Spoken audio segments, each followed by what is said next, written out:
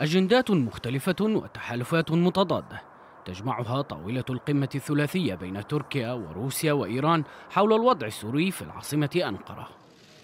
رؤساء الدول الثلاث التركي رجب طيب أردوغان ونظيراه الروسي فلاديمير بوتين والإيراني حسن روحاني سيبحثون عددا من الملفات الشائكة والمؤثرة في الوضع السوري.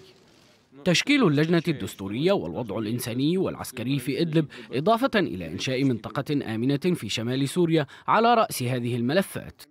خبراء يرون أن القمة تكتسي أهمية كبيرة بالنسبة لسوريا لكنهم في الوقت نفسه يبدون تشاؤما بأن تتوصل القمة إلى إنجازات ملموسة بسهولة.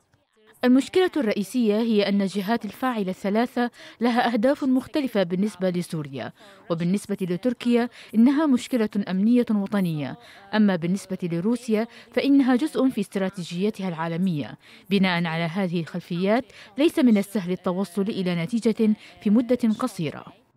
اللجنة الدستورية التي ستتولى صياغة دستور جديد لسوريا يرى خبراء أنها تمثل المدخل الأساسي لانتقال سياسي سلمي في البلاد لكن اختلاف مصالح الدول الضامنة يعرقل تشكيلها.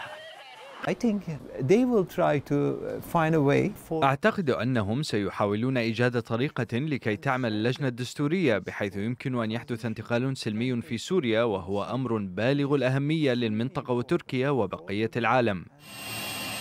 الجيش التركي استبق قمة أنقرة بإرسال تعزيزات عسكرية جديدة إلى مواقعه في إدلب ما يعزز اختلاف أجندات الأطراف الضامنة بشكل واضح وفق الخبراء. ماهر نبواني العربية.